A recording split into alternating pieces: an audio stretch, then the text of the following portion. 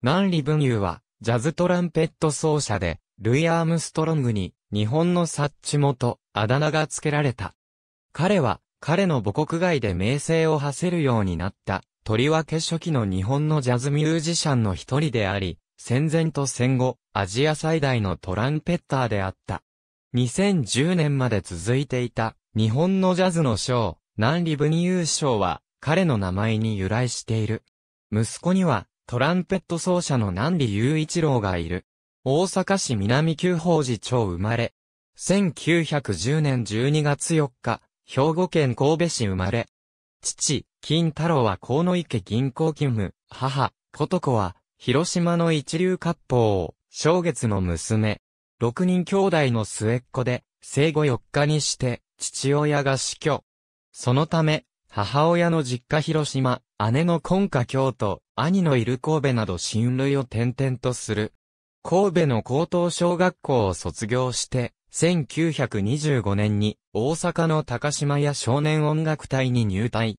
音楽隊の解散後、神戸のダンスホールで演奏し、1928年に19歳で上京。上京後、浅草電気館に出入りしていた、井田一郎バンドに加入。しかし、加入後わずか2ヶ月で飛び出してしまう。1929年、上海に渡りテディ・ウェザーフォードにピアノを指示。1932年、船のバンドマンに加わって、サンフランシスコへ渡る。同年、ため池フロリダ出演中の菊池重也バンドに入り、1934年には、自己のバンド、南里文雄とホットペッパーズを結成。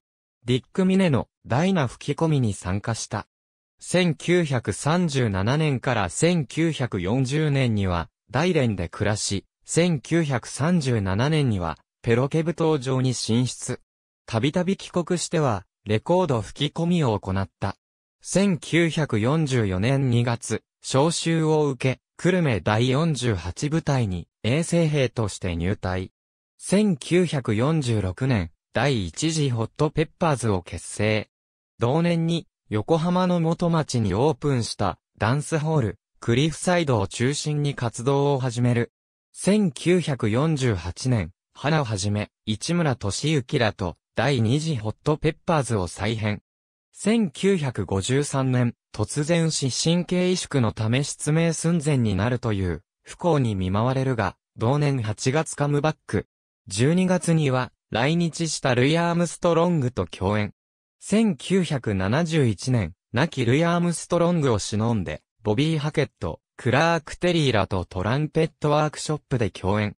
1973年、ジャズ生活48周年記念リサイタルを開催。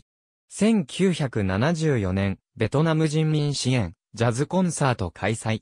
1975年8月4日死去。去年64。常に歴史一筋で進んでいた、南里だが、戦後の一時期バップに取り組んだこともあった。ABCDEF トランペット50年、南里文雄さんが死の床で頼んだ最後の言葉、週刊平凡1975年8月21日号、ピアニッシモ34から37。ありがとうございます。